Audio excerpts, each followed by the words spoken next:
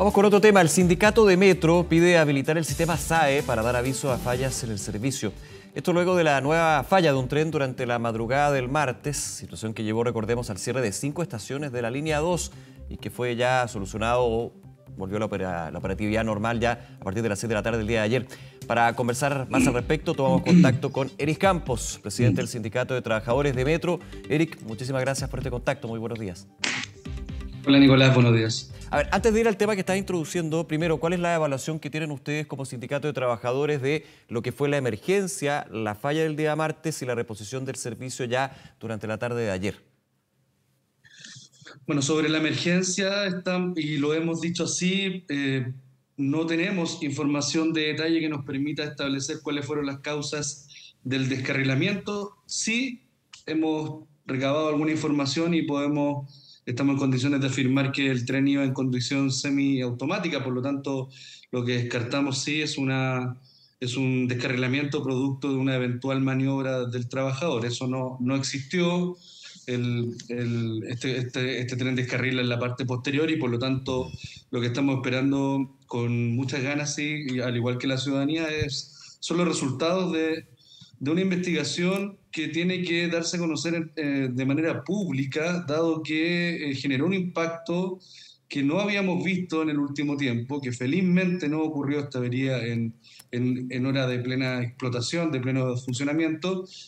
Y yo diría que la evaluación en términos de, más allá de la avería, en la relación con la ciudadanía es, es negativa. Yo creo que hay que revisar bien cuáles son los protocolos de comunicación que tenemos con con los usuarios, con los usuarios, dado que no podemos esperar que el usuario y la usuaria se entere que la estación está cerrada cuando llega a la estación, o peor aún, creer que porque hay un tuit fijado, la ciudadanía eh, está con eso, tiene que eh, darse por enterada de problemas, por supuesto, mayores como, lo que, como los que ocurrieron antes de ayer. Claro, las redes sociales son una muy buena eh, forma de comunicar un incidente, pero finalmente va a las personas que utilizan redes sociales y los usuarios de metros no todos utilizan Twitter, por ejemplo, o también en términos de la hora en que puedo ver yo esta, esta información. En ese sentido, ¿ustedes ven otras posibilidades? Quiero entrar al tema del SAE, que me parece bien, eh, bien una innovación en ese sentido la idea y sea aplicable, pero hay otras formas dentro de la experiencia. Muchos dicen, bueno, entiendo, y ahí usted me corrige, Eric, que eh, la situación del descarrilamiento fue alrededor de las 5 de la mañana. O sea, efectivamente, hacia el inicio de las operaciones de metro había un margen, pero de todas maneras e, era una hora bien compleja para informar esta situación, ¿no? Sí, la información que tenemos nosotros es que el descarrilamiento fue pasada a las 12 y media de la noche. Perfecto, ya. Eh, pareciera ser que a las 5 de la mañana pudieron concluir que no estaban en condiciones de levantar el, tren. Pudo haber sido eso. Ya. Sin embargo, eh, de todas formas, hoy día lo que tenemos es un problema de comunicación, no solo en un sentido, yo no, eh, en esto yo le, le, entrego al igual que usted un valor a las redes sociales por las posibilidades que nos entregan de comunicarnos, pero aquí estamos hablando de una avería que genera una conmoción en un territorio determinado. Entonces, tenemos un problema de comunicación en términos de que la gente se entere a tiempo, pero también, fíjese usted, Nicolás, que tenemos un problema si es que una avería similar, no estoy diciendo que la misma, por suerte la misma no ocurrió, pero una, una avería que, que, que, hubiese supuesto la necesidad de evacuar, de eh, dirigir a gente en, a entregar la información sobre alternativas para que pudiese continuar su viaje, eso no hubiese sido posible entregarlo de buena manera, dado que, nosotros lo hemos dicho, en las estaciones hoy día tenemos 2.500 personas menos que el 2019 para, entre otras cosas, ayudar en una evacuación. Me refiero a aseadoras, cajeras, asistentes al servicio, guardia, y entendemos, por fin, y hemos, hemos, hemos eh, en eso quiero darle valor a, a la cifra oficiales que nos ha entregado la empresa, esta información oficial, el déficit de 2.500 trabajadores, pero ahora sí entendemos que eso también es porque estamos enfrentando una crisis de financiamiento que está dada por la afluencia que ha bajado, tenemos un déficit de cerca de 700.000, 800.000 personas, pero llegamos a tener un déficit de 2 millones en plena pandemia, y, pero además tenemos un problema con la estructura de financiamiento, usted sabe, por cada validación en el metro, a los al, al, metro, a la empresa le devuelven 570 pesos, le entregan 570 pesos. Sin embargo, en promedio, por una validación en los buses, a los dueños privados de, las, de los buses del Transantiago le entregan 1.640 pesos. Esta información que además entregó la semana pasada en un tuit el expresidente del Metro, Luis de Grach, que aprovecho de preguntarme qué pasó durante sus cuatro años de gestión, que no pudimos levantar esto como un tema importante.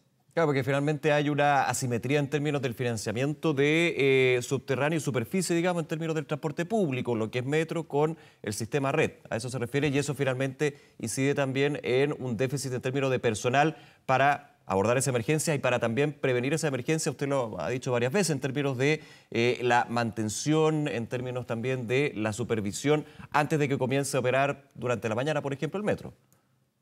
Sí, pero en esta ocasión hay que ser bien responsable, Nicolás, desde nuestra parte, digo, ¿no? Eh, no, no, estamos en condiciones de afirmar... No obedecería a eso esta emergencia particular. Claro. Hay un tema, hay un tema mecánico, automático, claro. En otra, en otra ha sido distinto.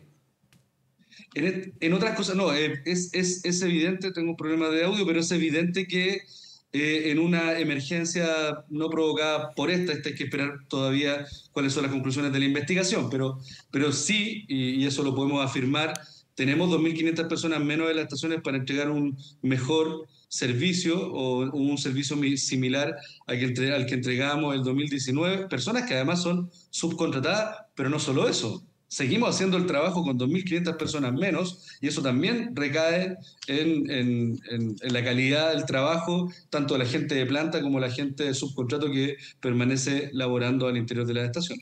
Eric, vuelvo al tema de las vías de información para poder abordar cuando ya la emergencia está ocurriendo, digamos, y poder permitir a los usuarios buscar vías alternativas y eso también ayuda a que la emergencia se concentre no en que la persona no puede usar el metro, sino en restablecer lo más rápido posible la función del metro en este caso. Yo lo pensaría de esa manera. Ustedes han eh, hecho la idea del sistema alerta de emergencia, el SAE.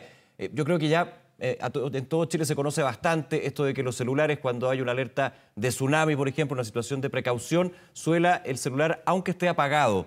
¿Esto puede ser viable dentro de las facultades que tiene este sistema de alerta de emergencia? Ustedes lo han visto, me imagino, por haber lanzado esta idea que si se aplicara todos tendríamos claro que efectivamente hay un problema en el metro y no habría problema si el celular estuviera apagado, por ejemplo. Sí, yo creo que lo primero que hay que entender es que Metro es muy importante para el funcionamiento de la ciudad. Queda claro cada vez que hay una pequeña avería, bueno, le quedó claro para todos los habitantes del sector norte de Santiago estos dos días que no pudieron tomar el metro en la mañana, por lo tanto, eh, puede sonar una idea exagerada porque evidentemente no se compara con un tsunami, con un terremoto, pero sí hay que entender que un cierre de estación, un cierre parcial de una línea genera conmoción en la vida cotidiana de las personas y por lo tanto creo yo que desde ese punto de vista se justifica. Lo que hemos dicho en particular no es utilizar el sistema SAE, sino que recurrir a una plataforma similar, que habrá que ver el costo, la, la vinculación, evidentemente esto lo, lo, debería proveer el Ministerio de Transporte, una, una plataforma similar que permita avisar, eh, y por favor, yo sé que hay aplicaciones, no se trata de eh, saber a qué hora va a pasar el metro, se trata de saber que cuando me estoy levantando eh, y voy al, metro, antes de llegar a la estación, me avisen de que esa estación, por una razón eh, inusual o, extraordinaria como la que ocurrió hace un par de días, esa estación está cerrada. Y por lo tanto, no se genera una crisis en la, en la, en la afuera de las estaciones, no se aglomeran personas y se ven los problemas que tenemos, porque también hay que entender que los planes de mitigación, eh, que están basados en la puesta en marcha de, buses clones, no dan abasto para poder eh, resolver una operación como la del metro. Pueden mitigar, pero además cuando se ha demostrado que eso tampoco de manera tan automática y de manera tan organizada, recién el segundo día funcionó de mejor manera, pero, pero tampoco es que tengamos una, una, un plan bien, bien, bien estudiado, bien resguardado para que estas cosas operen de manera más coordinada.